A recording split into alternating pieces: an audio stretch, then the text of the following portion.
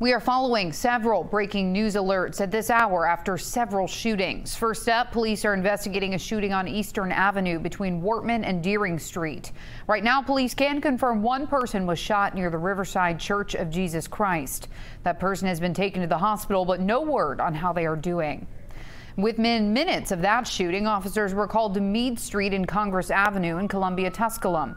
That's a short distance from the first scene. Officers found another person shot. The back of a car window was also shot out. The person who was shot was taken to the hospital. Right now, police are trying to learn if the two shootings are connected.